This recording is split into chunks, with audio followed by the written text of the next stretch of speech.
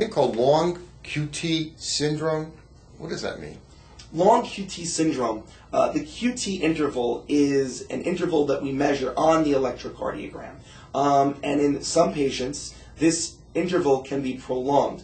And if it is abnormally prolonged, it could put that person at risk for another type of fatal arrhythmia.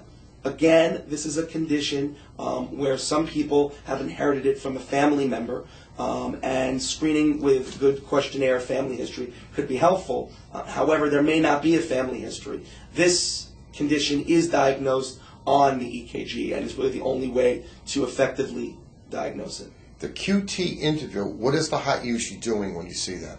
Uh, it's repolarizing, it's um, uh, relaxing, uh, so to speak. So being prolonged, wh- why does that put you at risk?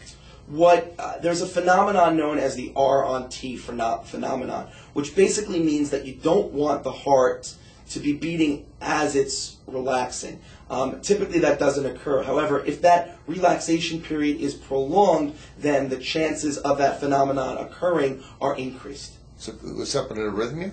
Yes, it sets the patient up more likely for fatal arrhythmia. What kind of an arrhythmia would you see in a cardiogram? If you It's uh, the arrhythmia is something called torsades de pointes, which is a form of ventricular fibrillation, where the heart beats, the heart muscle beats com- uh, extremely erratically and chaotically, and very fast? extremely fast, extremely chaotic, and so much so that it is unable to effectively pump blood.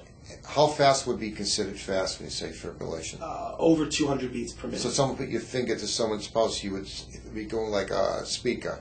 Correct, and, and, and even if someone were in ventricular fibrillation, they would be uh, they lose consciousness very quickly, and it is even difficult to even feel the pulse. Will they have chest pain before they become unconscious? Uh, possibly not. And they might even know they just may feel like something happening.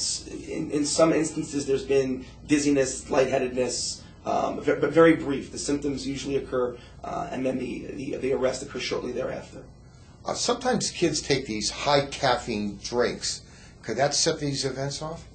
Uh, it's it's possible. Uh, in general, my feeling is these high caffeine drinks are not good for children. I, I, I wouldn't necessarily say that in the general population they're increasing your risk for sudden death, but certainly they're they're not good for the heart. Um, they can increase the chances for other um, less dangerous but still important arrhythmias, um, and should should for the most part be avoided uh, in, in children. One of the side effects of these, these high caffeine drinks, kids get less sleep. Could that also be a factor?